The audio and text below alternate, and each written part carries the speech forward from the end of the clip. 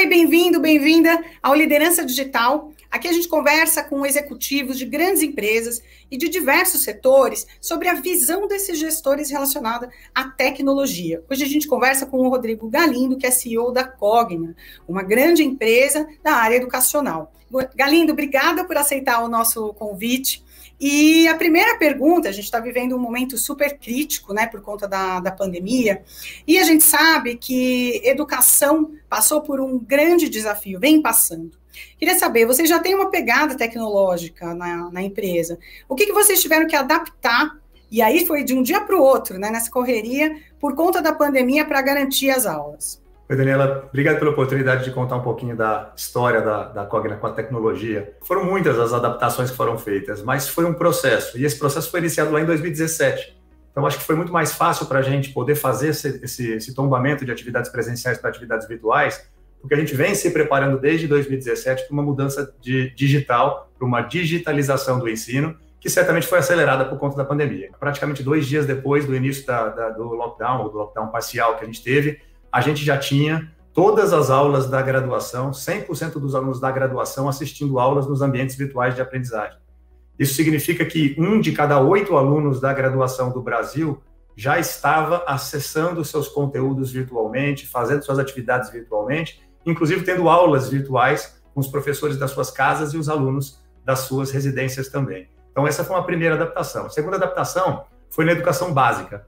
A gente e essa levou um pouco mais de tempo para a gente estruturar, ah, mas o Plural, que é a plataforma que concentra todas as atividades de educação básica hoje, da, da, da Vasta, que é uma das empresas do Grupo Cogna, ele também foi disponibilizado para mais de 4 mil escolas, e hoje, um de cada quatro alunos da educação básica privada brasileira tem suas aulas usando a plataforma digital da Plural. E a terceira grande movimentação foi no corporativo todos os funcionários e colaboradores do corporativo, em uma semana, estavam trabalhando em home office. Foram as três principais alterações práticas que foram viabilizadas por todo esse processo que a gente vem vivendo desde 2017. Rodrigo, como que vocês viram as escolas, é, o posicionamento das escolas do mundo mais tradicional, né? O mundo lousa, caderno, livro? Olha, tem uma máxima que diz que a necessidade é a mãe das invenções, né? E, e a necessidade fez todas as escolas do Brasil buscarem suas saídas. Algumas buscaram saída, saídas é, individualmente, mas muitas delas perceberam que mais fácil do que buscar um caminho individual e uma plataforma tecnológica sozinha, ou fazer uma parceria sozinho com um grande grupo, é, como, o Google, por exemplo, era mais simples acessar todo, todos os benefícios que uma plataforma de soluções educacionais pode prover. E é por isso que a, a, a Vasta cresceu nesse, nesse, nesse momento e se fortaleceu nesse momento, porque ela tinha a plataforma mais robusta para ensino, para aulas, aulas à distância é, no, na, na, educação básica do Brasil. Só para você ter uma ideia do poder da plataforma plural, hoje 45% do web traffic de educação básica brasileiro é do plural, ou seja, 45% de todos os conteúdos e todos os acessos à web na educação básica brasileira transitam pela plural. Então, acho que isso facilitou muito o, o, o trabalho das escolas. Agora, precisou e demandou um enorme esforço das escolas para se adaptar a essa nova realidade. Treinar professores, a gente, a gente colaborou com o treinamento de professores, mas as escolas fizeram todo esse treinamento de professores de forma digital. É, as escolas precisaram é, garantir o, embarque dos seus alunos na, na, na, nas plataformas, não é, não, é, não é trivial, elas precisaram se adaptar, precisaram se preparar para isso. Então, acho que, acho que foi uma operação conjunta e casada entre as escolas e o provedor de soluções de educação, que era nesse caso a Vasta, todas as escolas que hoje estão na nossa plataforma, levando um pouco menos ou um pouco mais de tempo, conseguiram de alguma forma trazer todas as suas atividades para o ambiente virtual e conseguiram, com todas as dificuldades que existem, especialmente para crianças mais, para crianças menores, mas elas conseguiram continuar o processo de ensino-aprendizagem no ano de 2020 por conta dessa parceria entre a escola e a plataforma. Bom, a gente fala muito de aula teórica, né? Você entra lá no computador, tá o professor, né, a sua plataforma digital com os conteúdos, mas e aula prática? Como é que você faz para poder trazer uma prática para o aluno? Vocês fizeram alguma adaptação aí usando a tecnologia, né? Foi, foi, Daniela, a gente teve sim. Na verdade, tem elementos práticos do, do processo de ensino-aprendizagem que são eminentemente práticos e nunca deixarão de ser. Por exemplo, o internato de uma faculdade de medicina ou o atendimento clínico de um curso de odontologia. Mas tem um pedaço da atividade prática que dá para ser virtualizado. Então, a gente investiu bastante em virtualização de laboratórios. Então, atividades de engenharia, atividades de gamificação em matemática, que eram, que eram atividades realizadas em laboratório, puderam ser atividades realizadas em laboratório digital, com a vantagem de que elas podem ser replicadas tantas vezes quantas o aluno quiser. E essa é uma evolução que veio para ficar. Então, todos os laboratórios digitais que a gente virtualizou na época da pandemia, eles continuam disponíveis. É o mesmo, isso significa que mesmo quando as aulas voltarem, estas aulas voltarem a ser presenciais, a gente tem ainda o complemento da digitalização para fazer o que a gente acredita que é o ensino do futuro, que é o ensino híbrido, que é o ensino que tem componentes presenciais e tem componentes digitais na medida da necessidade do aluno e existem conteúdos curriculares que exigem presencialidade e esses certamente serão dados de forma presencial, mas para aqueles que não exigem presencialidade, vai ficar a critério do aluno escolher se ele prefere ter esse componente curricular de forma digital ou de forma presencial. Agora, com o ensino à distância, é, vocês vão aplicar essa tecnologia para quem está em casa? Porque a gente sabe que manter a atenção dessa turma aí é, em casa não é fácil, né? É, esses headbands, eles são, de fato, é, fundamentais para a gente entender aonde, quais os tipos de componentes curriculares que geram atenção, geram engajamento ou não.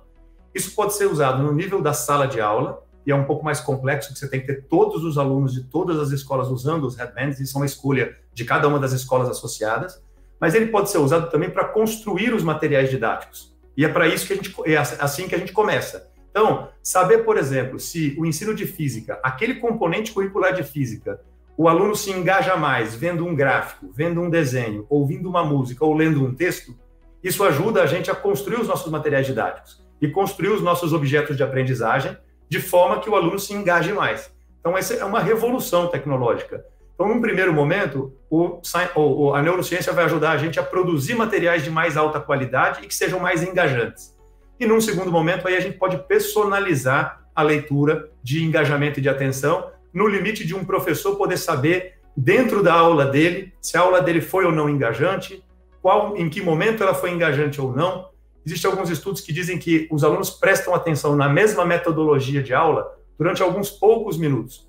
Então, se o, aluno, se o professor tiver acesso e souber que a partir daquele determinado momento o engajamento caiu, ele pode mudar a dinâmica de sala de aula durante a aula para entrar num outro modelo de aula que seja mais engajante. Então, essa é uma das iniciativas de, de, de neurociência aplicada à educação que, que é, é, altamente promissora e que a gente tem dentro da Somos. Para além disso, isso pode sim se tornar um projeto mais abrangente, onde você consiga medir a, a, a, o nível de engajamento por estudante. E se as escolas quiserem, hoje a gente está preparado para entregar essa solução de, de, de, leitura de engajamento via neurociência para todos os alunos. Vocês observaram uma mudança já de comportamento no interesse dos estudantes pelo ensino remoto? Sim, a gente, a gente observou uma tendência bastante acentuada. A gente já vinha observando essa tendência antes da pandemia. O EAD tem crescido a taxas mais altas do que o ensino presencial, isso se acelerou com a pandemia. A gente não viu uma mudança muito grande, um pedido de transferência muito grande de alunos do presencial para o EAD, ou seja, os alunos que já escolheram o ensino presencial, eles estão hoje tendo aulas virtuais, mas aguardando o momento de retornar para o presencial. Mas nos novos intakes, ou seja, nas novas captações de alunos, aí sim a gente vê um movimento muito claro de migração para o EAD. Mas a gente teve um crescimento de mais de 30% nas matrículas, novas matrículas de alunos EAD, o que significa que os alunos de fato é, estão buscando mais as modalidades de ensino à distância. A base de alunos ficou estável, mas a, a, a proporção entre ensino à distância e ensino presencial mudou por conta das captações de EAD que têm sido muito mais fortes do que no passado, o que gera para a gente uma, uma percepção de que sim, aquele antigo preconceito de que se o EAD podia ou não entregar um ensino de qualidade está sendo gradativamente vencido. Lembrando que a, a, Cogna fez a, a, sua aposta pela digitalização e hibridização do ensino em 2011, quando ela comprou o Unopar. E naquele momento a gente tinha ainda muito preconceito em relação ao EAD. E a gente vem falando ao longo dos anos. A qualidade de ensino pode ser a mesma. Garantidas as práticas presenciais, se forem necessárias, a qualidade de ensino pode ser a mesma. E o tempo vai mostrar isso. E o tempo vem mostrando isso. Eu acho que a pandemia só acelerou essa percepção de que o ensino à distância tem qualidade e pode ser um excelente veículo para difundir o ensino superior, porque tem um caráter social, para além de tudo, que não pode ser esquecido. O, com o ensino digital, a gente consegue cobrar mensalidades mais baratas. Cobrando mensalidades mais baratas, o ensino superior está disponível para mais gente. Então, na graduação, eu acho que é uma tendência que veio para ficar.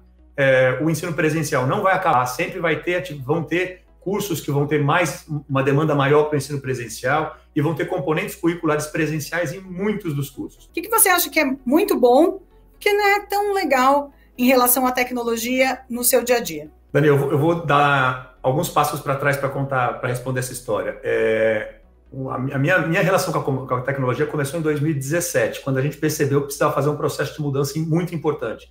Que a fórmula que tinha trazido a Croton até 2017, se repetida, não ia levar o mesmo sucesso nos, nos 10 anos seguintes. E para mim foi um processo de aprendizado é, absurdo. É, só para você ter uma ideia, quando a gente começou a ser impactado por temas de transformação digital, é, eu, eu, não tinha muito, eu, eu não tinha conhecimento de tecnologia suficiente nem para julgar a relevância que aquele processo de transformação teria para a companhia. E eu fui aprender. E eu fui participar de absolutamente todos os seminários, todos os eventos, conversar com todos os especialistas da área. Eu conversei com 25 CEOs ou CTOs de empresas brasileiras ou internacionais que tinham passado ou estavam passando por processos de transformação digital para aprender, para encurtar caminhos. Hoje, por exemplo, a gente discute em, no, no, nível do CEO, dos, dos, presidentes das empresas e de tecnologia, a gente discute, discute arquitetura de tecnologia, a gente discute backbone tecno, tecnológico, a gente discute é, o EDA, que é a nossa plataforma, nosso, nosso, nossa base de dados arquitetural. Isso, isso era, era algo que estava fora da discussão de um CEO alguns anos atrás, estava fora da, do meu escopo de trabalho alguns anos atrás. Então, tecnologia é parte do negócio e é parte fundamental de um negócio que se pretende ser cada vez mais digital. E acho que eu acho que todos os CEOs que precisarem, quiserem passar por um processo de transformação digital, precisam estar umbilicalmente ligados e imbricados nas discussões de tecnologia, porque tecnologia é business, tecnologia é o negócio em si e não mais um departamento, uma área ou um fornecedor do, do negócio. Então, para mim, tem sido muito gratificante, eu só vejo o lado positivo. Então, muito obrigada por participar aqui do Liderança Digital e compartilhar o seu aprendizado aqui com a gente. Eu que agradeço, um abraço a todos.